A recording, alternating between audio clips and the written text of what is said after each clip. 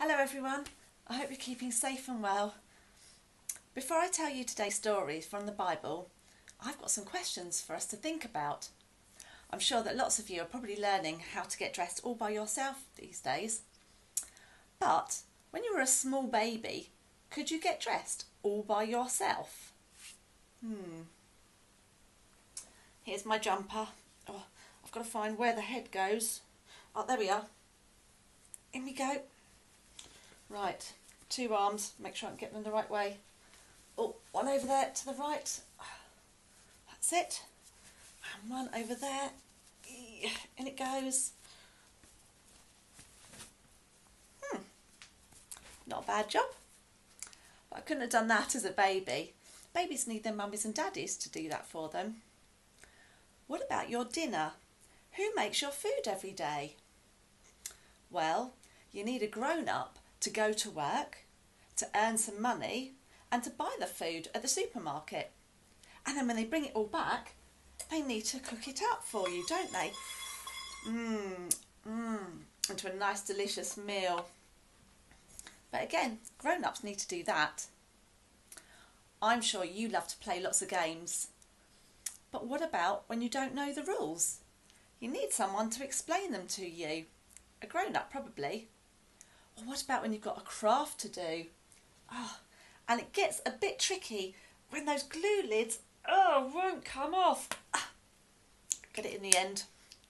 We need grown ups to do those sorts of things for us too. We need mummies and daddies to do lots of things for us, and they're good at helping out, aren't they? Little children need things to be done for them because they just can't do them by themselves. They're not able to. And in our story today, lots of little children came to see Jesus. But Jesus' friends tried to stop the children.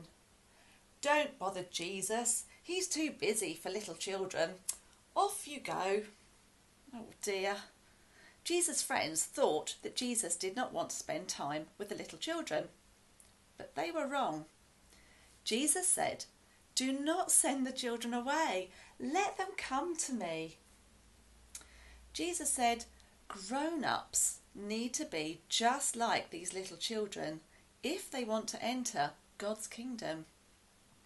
The little children ran to Jesus. They wanted to talk with him and play games, sing songs, and laugh with him. They fully trusted Jesus to love them and care for them, and Jesus did exactly that. In the same way that little children depend on their mummies and daddies to clothe them and feed them, protect them and care for them, God wants all of us, children and grown ups too, to fully trust Jesus to protect us and care for us.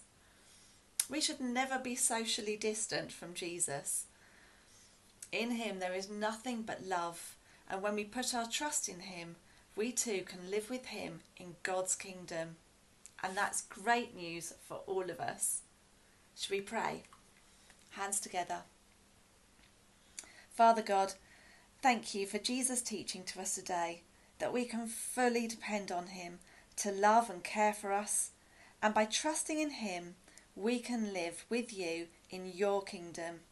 Please help us to put our trust in Jesus today. Amen. Well done. Maybe you would like to know more about how to turn to Jesus or how to start praying if that's something that's new to you. Or if you've got a prayer request that the Allsorts team can commit to God for you. We'd really love to hear from you, so please do get in touch with us. You can connect with us via the website, Facebook, or via Twitter. Now, before I go, there's a link to um, our song for today alongside this video, and it's Great Big God those from Allsorts and Jack and Jill's preschool, hopefully you'll remember the actions. You ready? Higher than a skyscraper and you've got to reach really tall. Deeper than a submarine, go down to the floor. Wider than the universe, stretch your arms out wide. And beyond my wildest dreams. I hope you can remember the actions and don't forget to clap along with it too.